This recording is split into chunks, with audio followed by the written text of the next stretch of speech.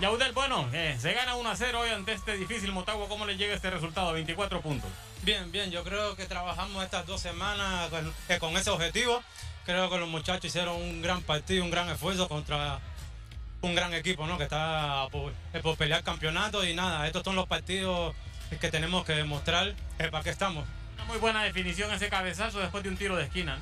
Sí, sí, normal, gracias a Dios se me dio esa oportunidad, pero nada, yo me quedo con el esfuerzo de todo el equipo, que nada, hizo cada, cada uno, aportó su granito de arena para hoy salir de ese triunfo.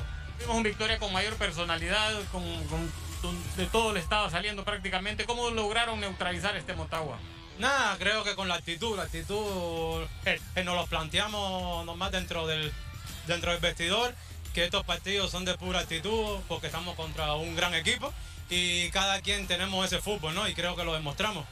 Esta afición que lo vino a apoyar hoy. Nada, agradecerle a ellos porque todo lo que hacemos es por ellos y por nuestra familia y nada, esto es ese y un gran paso, pero todavía falta. Muchas gracias, felicidades. al-